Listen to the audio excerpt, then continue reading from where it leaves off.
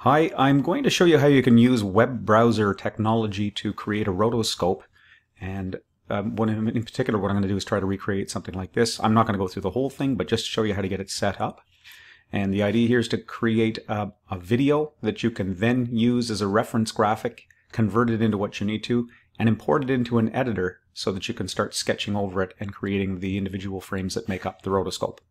Now, I've done this in Adobe Animate. This time I'm going to try using the Wick editor to show you that you can do it there as well. And the step-by-step -step is all right here. So I've already shot some reference video, and I'm already on to step two, which is I'm going to convert it into something that the Wick editor can load in. So I'll open up that browser, and I'm going to choose my file, and if I'm really lucky, oh good, it's taking me right to where I want to go to, so I'm going to find some footage that I shot ages ago. Loading it up there, it's an MP4, but it'll also take um, AVIs, MOVs, and MKVs as well. I'm going to upload that video, and the website is spinning around trying to get it. And once it does it, it's going to give me some options here. First of all, it's going to let me preview it. And so I'm going to preview this and try to find my start and my end point. I can turn down this volume. And I know I want to only collect something. I think I wanted to have my, my head spinning around, but I think I goofed around a little bit. Okay, and I want to start it right about here. Okay, maybe a little bit further. So this is at the 14 second mark. I'm going to say I'd like it to, like to start it at 14 seconds.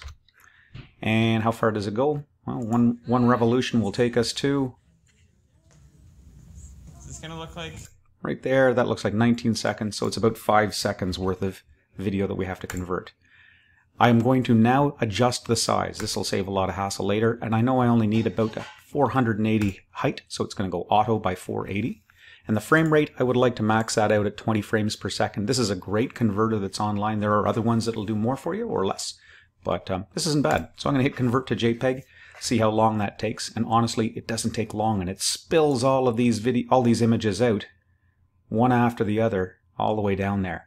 Go to the very bottom, and you can download all of them all at once as a zip file. And I'm going to take that and put that into a relevant folder here, into my appropriate folder under rotoscoping, and I'm going to make a new folder here for this. I'm going to call it test 2. And I'm going to plunk them in there and hit save. Okay, so that's a bunch of the stuff done. Now, we have to unpack that zip folder, so I'm going to go show that in folder, and if you were on a Chromebook, you just go to your files after you've downloaded it. And unpacking this thing in Windows, it's a right mouse click, and you can use whatever utility to extract all the files if you want. If you were using uh, a Chromebook, you could just double click the zip file. It'll open them all for you. You can control A to select all of them, and then you can actually drag them and move them where they have to go. And in this case, I can do the same thing here too. So a couple of ways you can go at it. I'm going to get rid of that zip folder because I don't need it anymore. All right. So now we want to start using this this thing inside inside the Wick editor. So I'm going back to the Wick editor, and it shows up like this. I've already logged in, and I wanted to show you a trick if you aren't already doing so. It's a small editor. It does a great job, but max out your screen. If you have a uh, download bar at the bottom, get rid of it. And if you can hit the F11 key or the full size button that would extend this up like this to fill your screen, it's going to look a lot better. Now I just did it manually, but F11 on a, on a Windows keyboard or the full size button on your Chromebook will do the same thing. Now we have to import this stuff and put it into a reference layer. Now, before we do, I'm going to go change the settings on Wick, give it a name, Roto 2. I'm going to give it a size, and I would suggest 450 by 450 is a good size for this project. And a frame rate, I'm going to use 24 frames per second, even though we actually, actually I had it render it at 20 frames per second. It's okay, we'll play with time a little bit. Hit apply, things change in the background, we've got a canvas to work with. Uh, next, we have to start importing all that stuff into the asset library. So I'm going to do that by going to the upload assets button, click it, try to find my files, and I'm going to go crazy here and upload all of them. It's a lot of files. Good news is we shrunk the size of them a little bit, so it's not quite as bad as it could have been. And great to have all these little messages, but I hope they go away. Good, and they did. And I'm also going to resize these windows so I can see more of the stuff that I need. Now this layer here is going to become my reference layer. So I'm going to go up to the inspector at the top, and I'm actually going to name it ref layer. So it has that name. And I would like to I'm going to drag only a couple of them in here. I'll grab the first two, maybe just the first one, drag it, put it on the stage, and you see it's just about that hard to import it. Things are sized about right. What I've lost touch with, though, is where is this inside the stage? So I'm going to do something else. I'm going to hide this layer. I'm going to create another layer.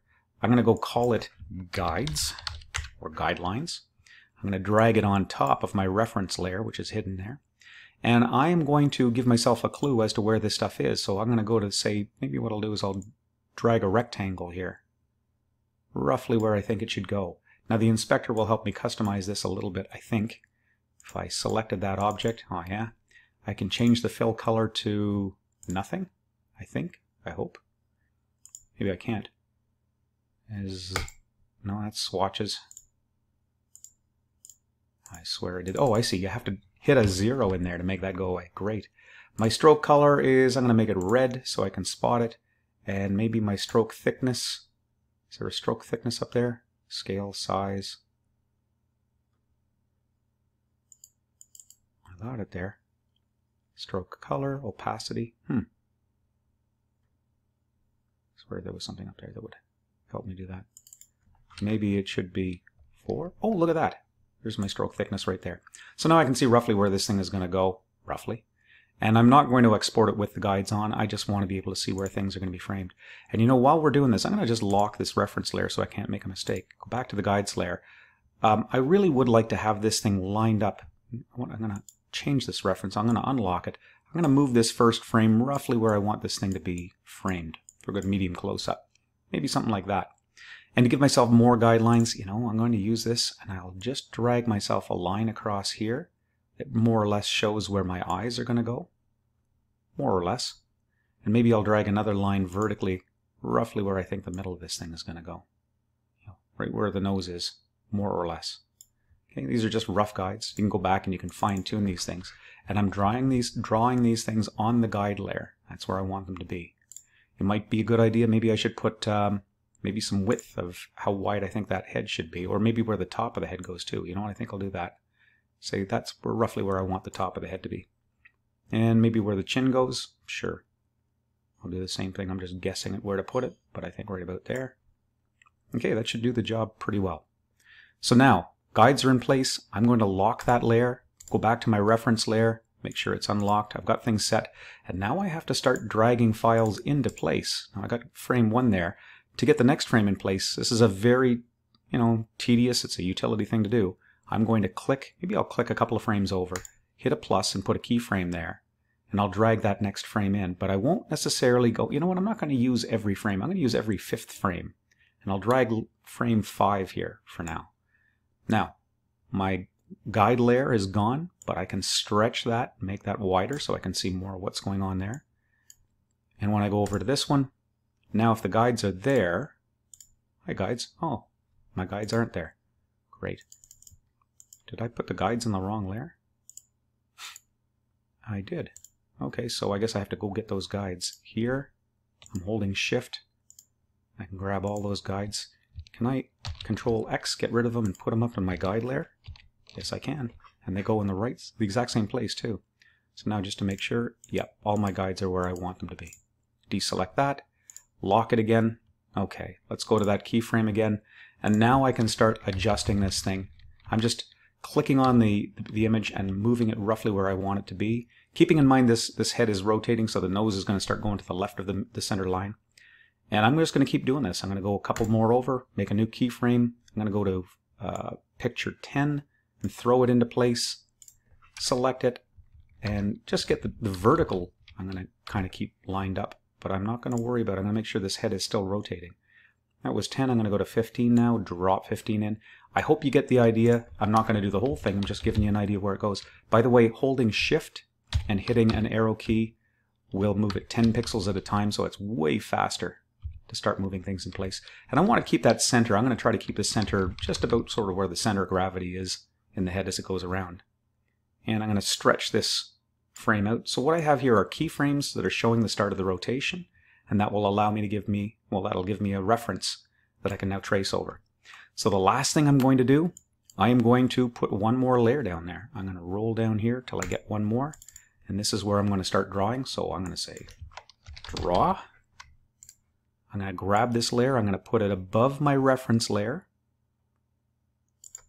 You know what, I may even put it above my guide layer because I'm not done with this, but I'll turn off guides for now.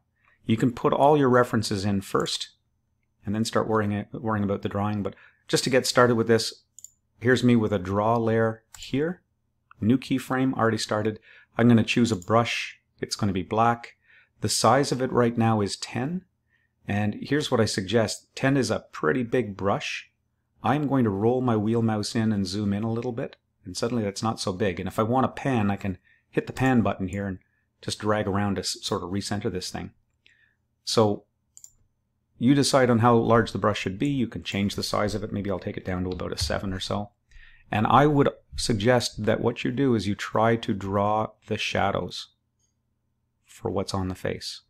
And that would include things like eyebrows, certainly the eyes, pupils of the eyes. I mean, you can leave a little bit there for the highlight inside the eyes if you want. This is not about being perfect by any means. And I would also suggest do a test. Don't try to do your finished version. This is just a test just to see how it works. Do about 10 frames, see how it goes.